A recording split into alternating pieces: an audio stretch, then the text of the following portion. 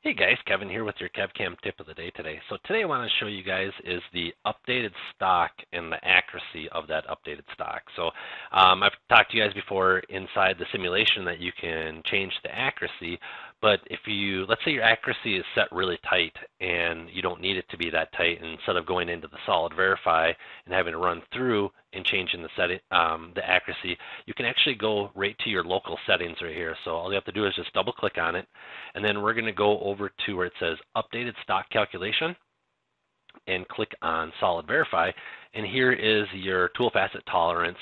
Um, for that updated stock. So just kind of want to show you a different place where that can be grabbed, um, kind of update things a little bit faster. And that's also, this tolerance is going to be based off of the updated stock that's right here as well.